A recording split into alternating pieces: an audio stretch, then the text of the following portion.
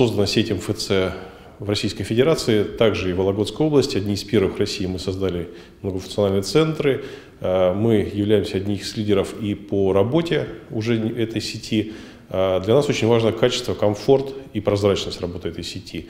Э, поэтому был объявлен конкурс для того, чтобы выявить лучшие практики, лучших МФЦ, лучших работников и уже дальше транслировать их опыт работы для всех многофункциональных центров Вологодской области.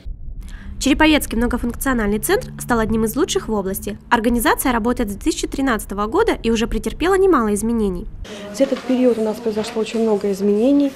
Мы из одного этажа приема документов преобразовали за два. У нас открылась хорошая комфортабельная парковка. В этом году у нас организовался въезд с улицы Бардина к нашему зданию, что значительно улучшило транспортную доступность нашего учреждения.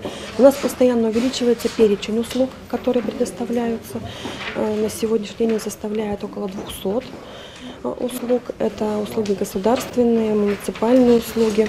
Самыми большими популярными услугами, конечно, были и по-прежнему остаются услуги земельной имущественной сферы, услуги для детей, э, для, для родителей и для семей с детьми, э, для пожилых людей, которые получают какие-то звания, которые обращаются за компенсациями, за выплатами. Очень много идет людей э, сейчас, последние новшества, это те люди, которые обращаются за постановкой на очередь в детский сад. Э, в связи с этим у нас открылась зона самообслуживания, где э, люди могут получить многие из услуг, которые получаются у нас в МФЦ при помощи портала госуслуг. Это наш следующий шаг, наша следующая новинка в, нашем, э, в нашей деятельности.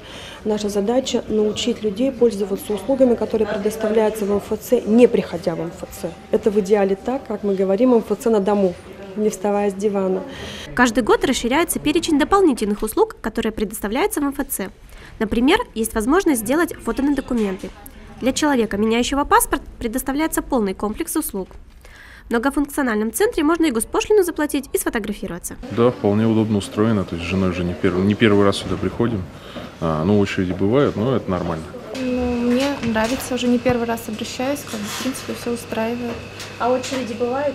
Ну, бывает, так-то достаточно уже сидим, наверное, минут 15 мы, но, в принципе, все равно не, не так, как обычно бывает в некоторых других учреждениях. Также меняется оформление залов многофункционального центра. Обновился и сайт организации. Он стал более информативным и удобным. Центр готов и к другим изменениям, ведь главная задача МФЦ – стать максимально удобным для горожан.